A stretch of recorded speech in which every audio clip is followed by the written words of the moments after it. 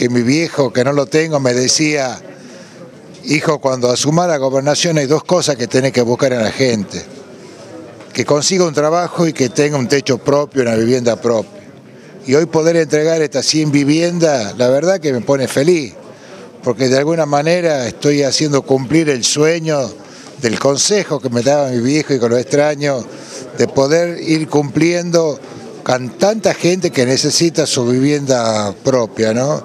Y, y, es la preocupación mía que yo tengo y que pienso en el futuro, a pesar de que hemos entregado 26.000 viviendas y 70.000 soluciones habitacionales, que no es poca. Son viviendas de dos y tres dormitorios. En este caso hay un 60% de viviendas de tres dormitorios, que son aproximadamente casi 60 metros cuadrados, y las de dos casi 46 metros cuadrados, con todo su servicio, como lo dijo el gobernador. Y bueno, para nosotros es muy importante porque la vivienda es el sueño que tenemos todos y que nos den esta, posibilidad, eh, esta oportunidad que nos está dando el gobierno, es muy importante para nosotros, más con los chicos, y que podamos tener este, este acceso a la vivienda es para nosotros una felicidad muy grande. Tenemos un hecho cierto que hay 100 policías que en los próximos 60 días van a recibir su vivienda también en el barrio Manantial.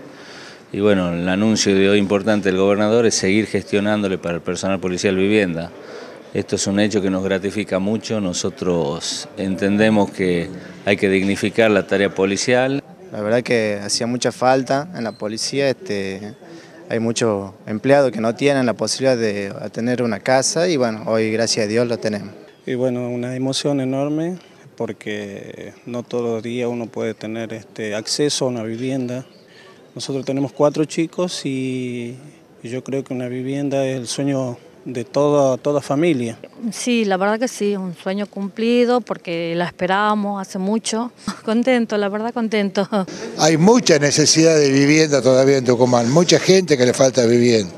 Por eso ha sido mi preocupación cuando hemos firmado con el gobernador de Buenos Aires, con Daniel Scioli, si llega a ser presidente de la Nación, que sigamos con un programa fuerte de seguir haciendo muchas viviendas en Tucumán, para poder cumplir el sueño de mucha gente que hoy están sin casa y que necesitan y que no la puedan pagar. Si hay una necesidad en Tucumán es tratar de cumplir con toda esta gente de poder tener una vivienda.